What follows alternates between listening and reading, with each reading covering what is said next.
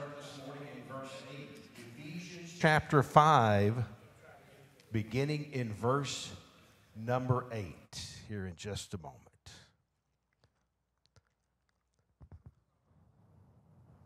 So good to see each and every one of you here this morning. And I know that we had a very wonderful week this past week with our home mission launch session. And uh, I'll go ahead and give you kind of a sneak peek. Phase two of our home mission DNA project will be coming up, I believe John told me around May, in which we will have another session called the Circle of Influence. And we'll be finding out more about that as that time comes uh, in the month of May. But keep John and Susie in your prayers. They're getting ready to, here in a few days, take off for the Midwest. They're going to be up in Indiana and Iowa doing some work with some congregations up there. So, John, thank goodness, is able to continue to, uh, his travels, and uh, Susie is able to go with him. So, we're grateful for that uh, opportunity for them as they go again up to the Midwest uh, later on in the spring. This morning, I want, uh, I want you to remember uh, Bruce in your prayers. He has another dental appointment coming up tomorrow or Tuesday. Uh, and let's keep him in prayer. He's just had a lot of dental work that he's had to go through here the last few uh, weeks, so let's continue to keep him in our prayers. Let's continue to keep all of our church family in prayer as we continue to battle the COVID. And uh, yet, th- despite that, our numbers are coming up, and we're, we're glad to see more and more of you coming back to be with us. But those of you who are watching by our stream this morning, we're grateful that you're there too uh, to study God's Word with us. And we'll get into our study here in just a moment, but we're going to go to our Heavenly Father for a word of prayer. Father, thank you for the opportunity to, we can study your Word this Sunday morning. It is our prayer, Father, that we will, as we open up the Word and read from it, we will find the treasures that you would want us to, to see, the great lessons that we can find in your word. And we're so grateful for this time that we can study from the book of Ephesians and what po- the Apostle Paul can tell not only this church, but to the church here at West Freeway of how we can live the Christian life. And we just pray, Father, that you will bless our efforts uh, as we study your word this morning. Our prayers for our church family here at West Freeway, especially for Brother Bruce, continue to be with him as he continues to battle health issues and just continue to bless him uh, in his future visits with the doctors. Uh, we just pray that everything will go well for him as you continue to be with him and be with all of us in our journey with you each day. We ask this in Jesus' name. Amen. As a parallel passage this morning, and we're going to look at that here in just a little bit, kind of uh, keep in mind uh, some thoughts we're going to look at in the book of First John. But right, right now, I want us to focus on our text from Ephesians chapter 5. It's Ephesians 5, beginning again at verse number 8 the Apostle Paul here talking again to the church. And he talks this morning about the subject of light. The subject of light. We all know the importance of light. If we uh, are walking in the physical realm under light, we're going to be okay. It's great that we've got, for example, this building well lit so that we can see what we're doing, we can see what we're reading, we can see where we're walking and where we're going. But if we were to have all these lights turned off and we were sitting here in this auditorium in pitch black, it would be a different story. If we were sitting here in total darkness, oh, we might be able to move a few inches or a, a little short distance.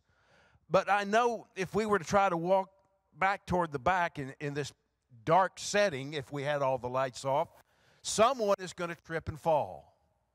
Someone's going to walk over a pew or bump into a pew. And that's not just uh, a very good thing to do. We need light. And in the spiritual walk, we need light too. When you were baptized as a child of God and you came to rise up and walk in newness of light, the Bible tells us that we are to walk in the light. Walk in the light as He is in the light, where we have fellowship one with another, and the blood of Jesus Christ cleanses us from all sin. We know that we're going to stumble. We know that we're going to make mistakes. We know we're going to come short of the glory of God. But by walking in the light, as John writes, and we're going to see here in a little bit in 1 John chapter 1, by walking in the light, we're going to do the best that we can and we, we will be all right.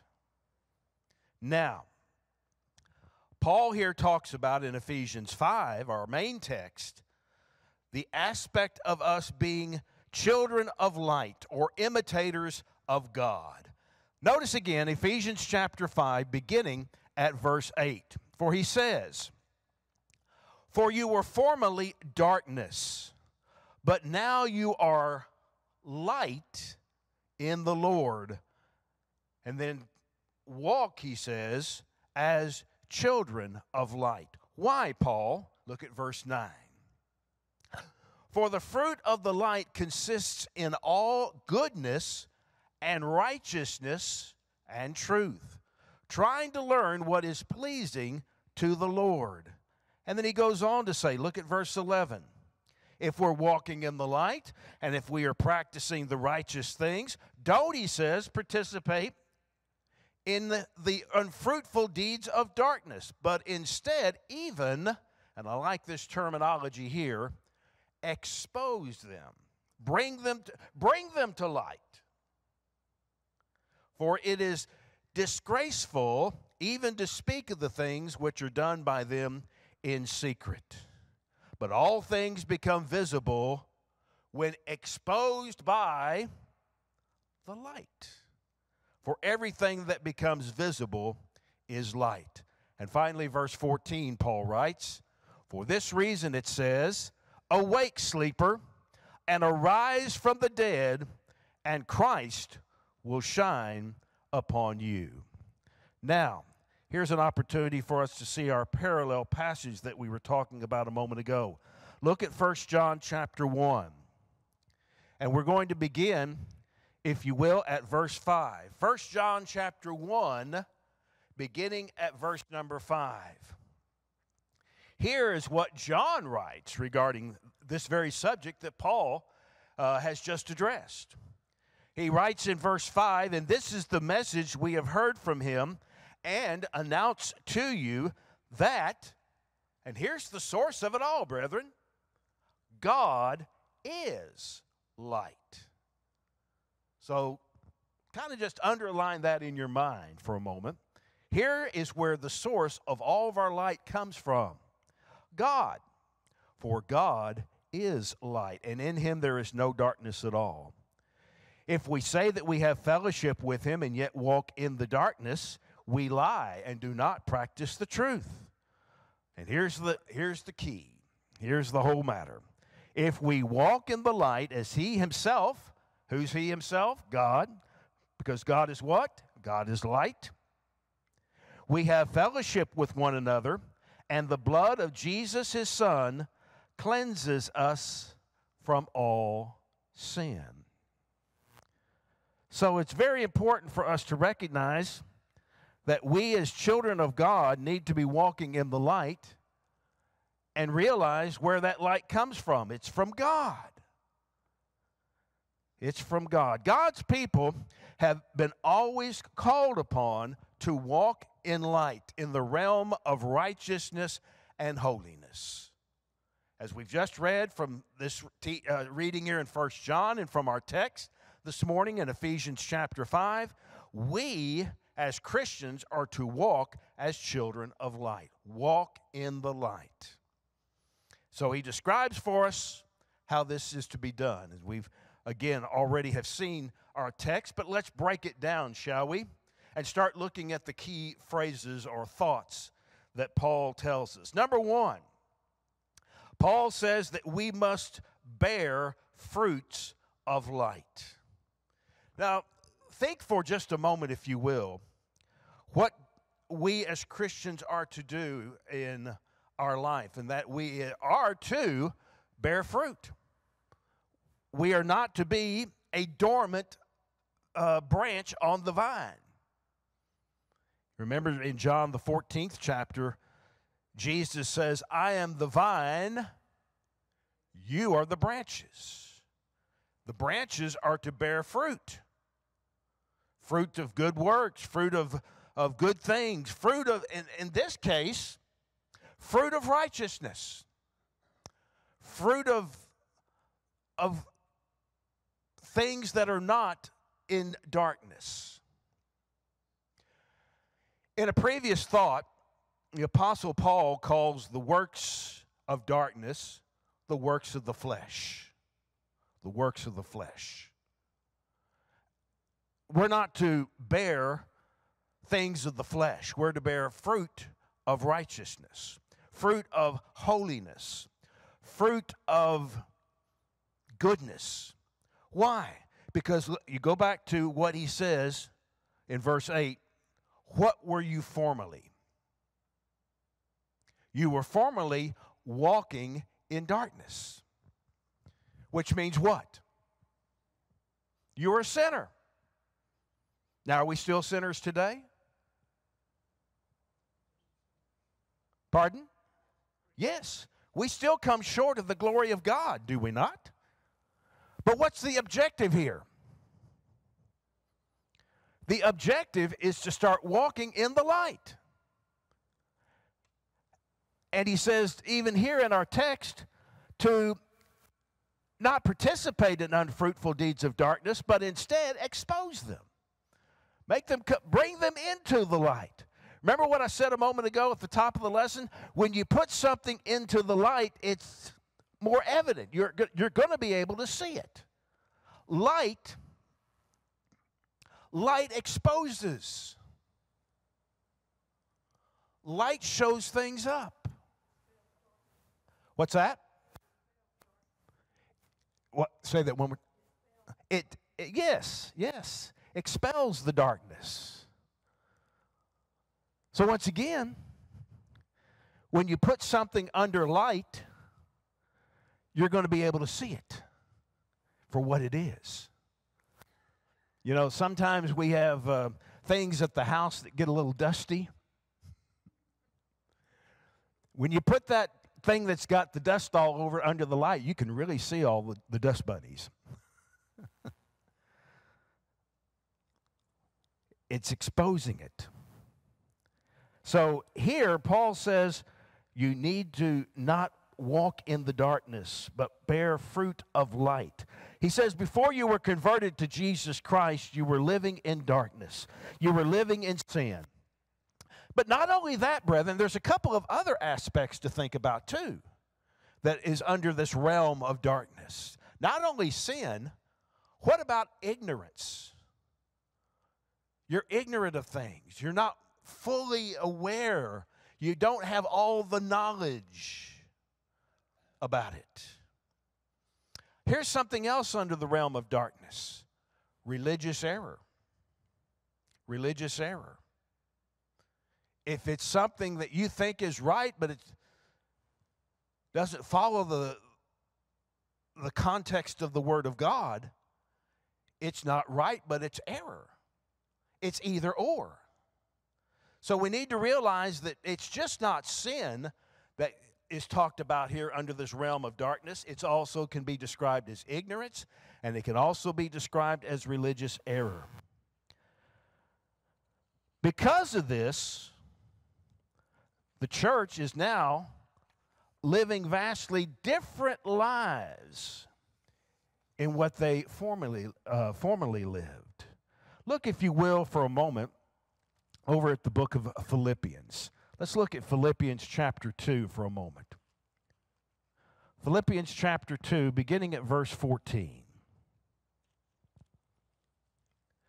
Philippians 2, beginning at verse 14, he says, Do all things without grumbling or disputing, that you may prove yourselves to be blameless and innocent children of God above reproach in the midst of a crooked and perverse generation, among whom you appear as lights in the world. Lights in the world. He goes on to say finally here, in verse 16, holding fast the word of life, so that in the day of Christ I may cause to glory, I may have cause to glory, because I did not run in vain nor toiled in vain. You are, as Paul says here, even in Philippians 2, you are to appear as children of light, not children of darkness. There's a stark contrast into what we used to be. Those things are in the past now. We're striving to do better. We're striving to please God. And yes, as we do come short, yes, as we do make mistakes, yes, as we do stumble, our objective is to pick ourselves back up, ask God for forgiveness, and do what? Do better. Continue to make those changes. The change that you make, brethren, in the Christian life is not an overnight success. It's just not going to change just like that. It's going to take time. It's going to take your entire lifetime to run this race. It's not a sprint, it's a marathon. And we need to stay focused each day of the race. And when we stay focused, we are walking in the light. People should see change, though, in us when we are converted. Yes, as I said, yeah, we're going to make mistakes but they still should see that we should be better than the way we used to be. Back to our text. Notice what he says here now in verse 9. The fruit of the light is the phrase here, or the fruit of the Spirit. So some will say fruit of the Spirit, some may say fruit of the light. But they are one and the same. One who lives in the light is going to do what? Produce fruit of light. When we walk as children of light, that means we walk in the light of God's Word. Psalm 119, verse 105. Also, notice what he says in Psalm 119 and verse 30. The entrance of your words, the psalmist says, gives what? Light. Gives light. It gives understanding to the simple. So, that word, that word, the Bible, God's word, when put to use in my life, in your life, is going to do what? Produce fruit or fruits of goodness, fruits of righteousness. Notice what he says here in verse 9. The fruit of the light consists in three things. Number one, it consists in all goodness. Secondly, it consists in righteousness. Thirdly, it consists in truth. When we're walking in the light, we're walking in what? The, the truth of God. When we're walking in the light, we're walking in His goodness. When we're walking in light, we're walking in His righteousness. Those elements matter so, so much. So when we put the Word of God into our life and put it to use and put it to practice, or in other words, we practice what we preach, we're producing that which is good. It produces righteousness. It produces, produces righteous living in God's sight. It produces a life of truth. Notice what Paul is urging the church here at Ephesus to do. He's urging the church to do the same thing that he said in Galatians 5 and verse 25. Listen to what Paul says in Galatians 5. If we live in the Spirit, let us also walk in the Spirit. In other words, we're following the directions of the Holy Spirit by following the Word, the Spirit's Word. And notice what he says here now in verse 10 we are trying to learn what is pleasing to the Lord. And are we, as I said a moment ago, we're not going to learn it all in one sitting. It's not just going to fall into our lap and we've got it mastered in a day. He says, by living the kind of life, and we live that life the rest of our life, walking in the light, the church, Christians, demonstrate to the world the kind of life that is pleasing and acceptable to the Lord. How many of us are striving to live righteous life before our neighbors, before our friends, before our coworkers? Or do we mix in with, with what they're saying and what they're doing? That shouldn't be. We're not, again, what are we doing? We're not walking in darkness any longer. We're walking in the light. We're, we're not children of darkness anymore, we're children of light. We are to live the kind of life walking in the light and to demonstrate to the world the kind of life that is pleasing and acceptable to God. What does Paul say to the church in Rome? Notice what he says in Romans chapter 12, verses 1 and 2. I beseech you, therefore, brethren, by the mercies of God, that you, that you present your bodies a, a living sacrifice. A living sacrifice, holy and acceptable to God, which is your reasonable service. And he goes on to say, Be not, con- be not conformed to the world, but what? Transformed by the renewing of your mind that you may prove what is good, or that is good, and the acceptable and perfect will of God. Notice the key phrases here that Paul writes in Romans chapter 12. He says, present, number one, your bodies. You're, you're supposed to present to the world and to yourselves what kind of life God wants us to live. And that is a life that is a holy life a life that is acceptable to God. And notice what he also says don't be conformed to the world. Don't shape or don't fashion or don't pattern yourself after the way the world is living, but instead be transformed. I'm always always amazed by the cartoon The Transformers. That's such a, a, a neat thing to watch. How you can see a, a, a truck or a car suddenly transform into this giant robot that could be a robot of destruction or a robot of good. But that's why they call it the Transformers. Now, a lot of folks just may see you as someone that's ordinary. But you've transformed yourself not to the ordinary person of the world or to all the others of the world, but you have transformed yourself to what? Someone that is living a righteous life. Someone that is walking in the light, not in darkness, but again in the light of God. You have transformed yourself by the renewing of your mind that you may prove what is the good and acceptable and perfect will of God. We must approve the things that are excellent, according to Philippians chapter 1 and verse 9.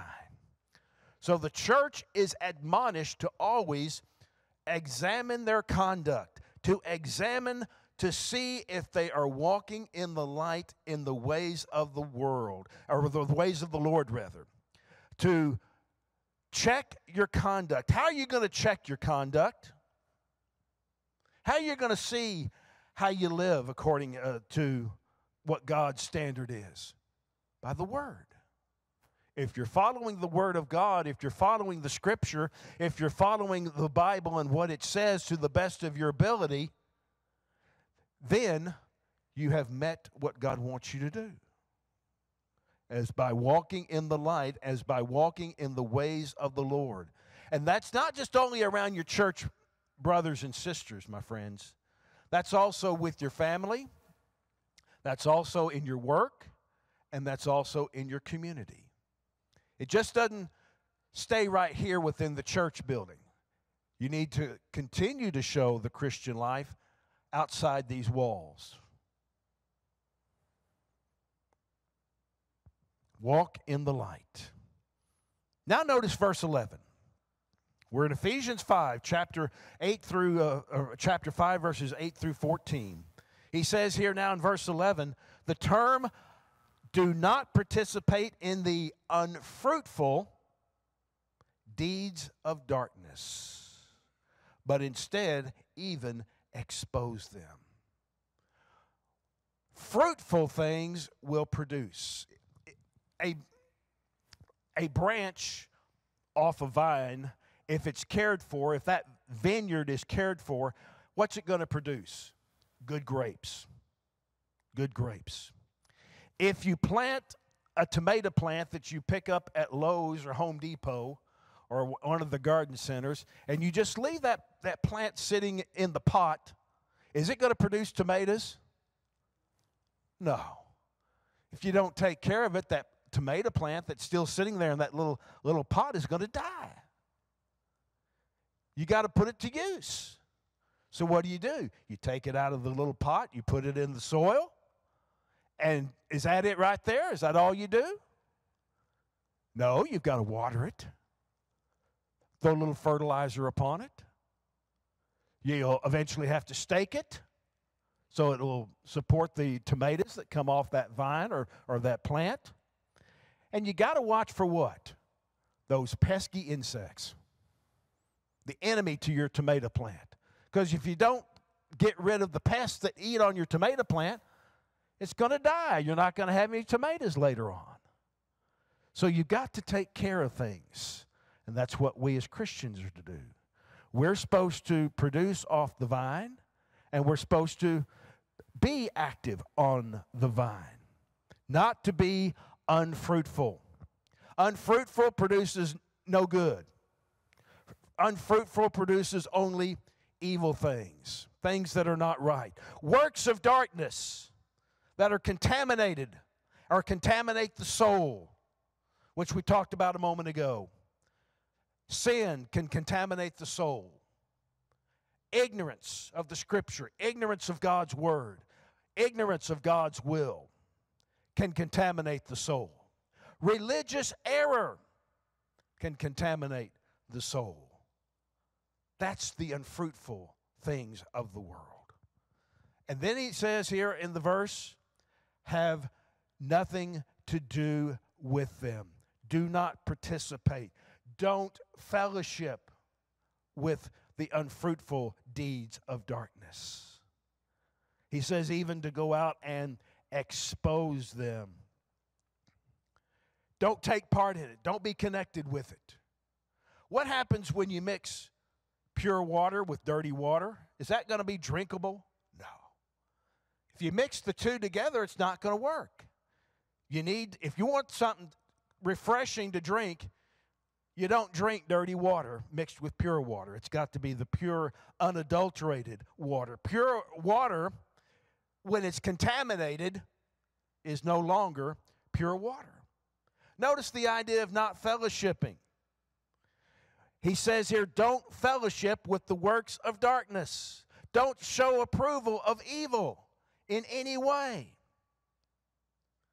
Now, what's this going to include? Well, as I said a moment ago, three things. Don't participate in the sinful deeds of the world. Don't go along with them. Don't approve of them. He says also, when you're talking about unfruitful dark, uh, we, uh, unfruitful things, don't participate in religious error. Follow the truth. Study the Word. Ask questions if you're concerned about your religious walk with, with God. Talk to one of the ministers. Talk to one of the here. Talk to one of the elders at West Freeway. We'll be glad to sit down and, and counsel with you and study with you on things that concern your soul. but don't participate, don't fellowship, or connect yourself with the unfruitful works of darkness. But he says to expose them, bring them to light. It's something that will help people when they see that, that work of darkness exposed. Some do not want to do this, though, and refuse to do so. Some will say, well, it's okay.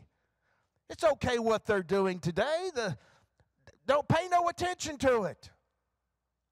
No. Paul says that we have an awesome responsibility as a child of God, and that is we're to take the works of darkness and tell others don't involve yourself in it, don't participate in it, don't connect yourself with it, expose it, bring it to the light. Those who belong to the realm of light cannot be neutral with respect to the works of darkness. Now, would you say that's a true statement right there?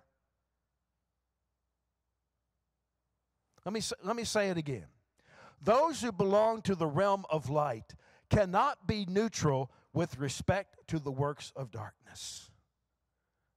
In other words, it's you're for it or you're against it.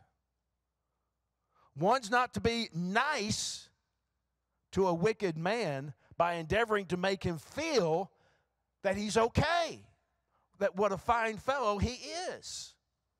And we were talking about a moment ago sin and ignorance of God's will and religious error.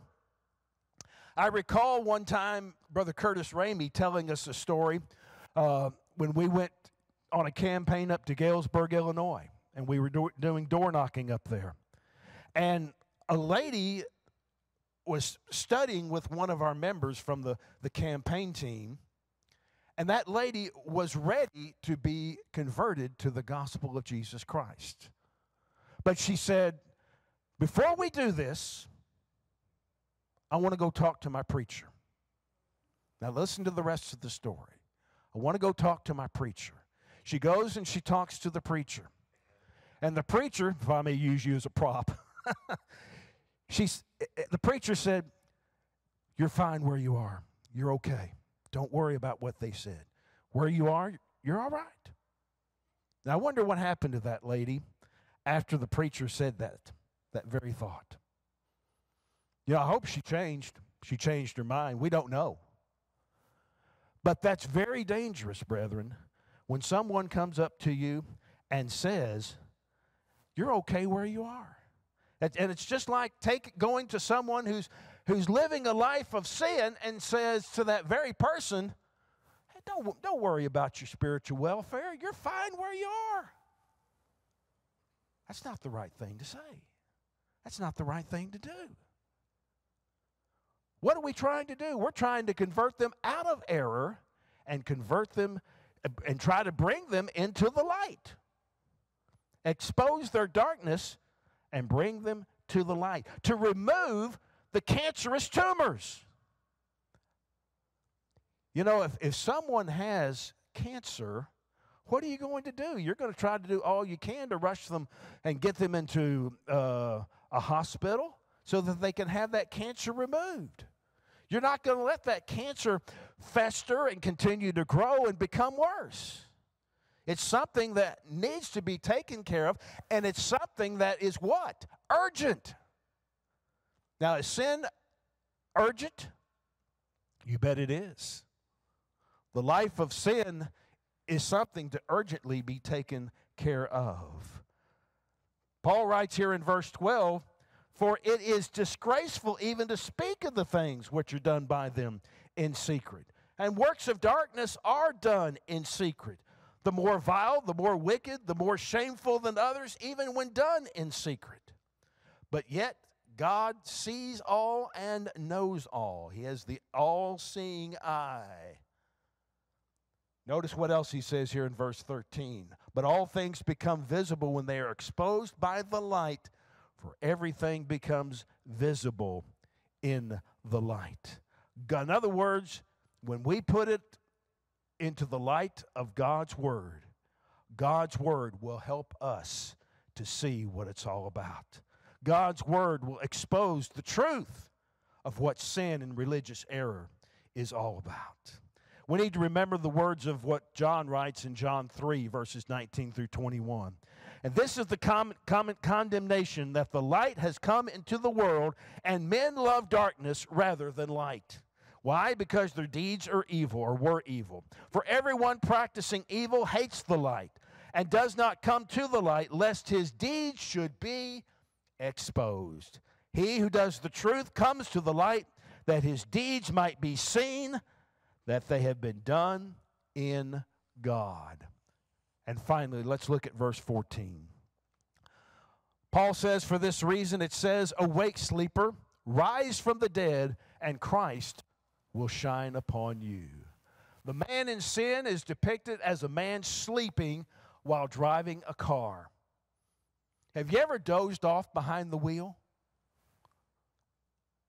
It happened to me a few years ago. I was driving home from work, and I had gone to work like at 3 in the morning. Uh, I had to get some things done. So I, my day finished up around 1, 2 o'clock in the afternoon, and I was driving home, and I got so close to the house, but at the time that I was driving home, I was, I was dozing, I was nodding. And the next thing I know, I, my car hits a curb and almost takes out a light pole. Damaged my car. I had to pull it off to the side of the road and get it towed in and, and repaired. Why? Because I was about to fall asleep. Matter of fact, I did. I fell asleep at the wheel and nearly got into a serious crash that could have caused physical harm as well as damage to my vehicle. Don't be sleeping behind the wheel. But the same can be said of our spiritual life. A man in sin is like a man sleeping while driving his car. He's, in other words, he's what? He's unaware of the dangers that he is in. Paul calls upon him to wake up and be aware of what surrounds you. Be aware of what sin and danger you're in. Realize the danger you're in and take, take precaution, take necessary steps. Do what is necessary to be saved. Listen to what is said in John 5 and verse 25. Most assuredly, I say to you, the hour is coming and now is when the dead will hear the voice of the Son of God, and those who hear will live. The dead are spiritually dead are doing what? They're walking in darkness. The alien sinner needs to comply with the words of God. Do you not know that as many of us as were baptized into Jesus Christ were baptized into his death? Therefore, we are buried with him through baptism into death, just as Christ was raised from the dead by the glory of the Father, we too should also walk in newness of life. Romans chapter 6, verses 3 and 4. What's Paul saying here to the church at Rome? Walk in newness of life. That's walking in the light. That's what we've been talking about here this morning in Ephesians chapter 5. That's what we've been talking about here in John chapter 1. To walk in the light, not to walk in darkness. Don't become spiritually dead again. Walk in the light as he is in the light. Therefore, we'll have fellowship one with another, and the blood of Jesus Christ, his Son, cleanses us from all sin. But also, a verse that we didn't read there, and that was 1 John chapter 1 and verse 8. But I'm going to say it to you right now because this is what we need to be careful of as a child of God. As we uh, continue to walk in the light today, be careful of this very thought. If we say that we have no sin, we deceive ourselves, and the truth is not in us. But if we confess our sins, He is faithful and just to forgive us our sins and to cleanse us from all unrighteousness. Don't be deceived. Know that the truth of God is in you. Know that you are walking in the light. And when you do come short of the glory of God, confess that sin because the Lord is faithful and just to forgive us of our sins and to cleanse us from all unrighteousness. That is a privilege to you as a child of God as you walk in the light. You have fellowship one with another, and the blood of Jesus Christ cleanses us from all sin. May Christ's light shine upon you as we close our message this morning.